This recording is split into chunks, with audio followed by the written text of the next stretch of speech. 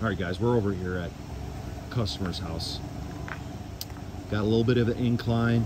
You can see how propped up that uh, tongue jack is. So we're just doing some uh, hitching up lessons. And uh, stay tuned.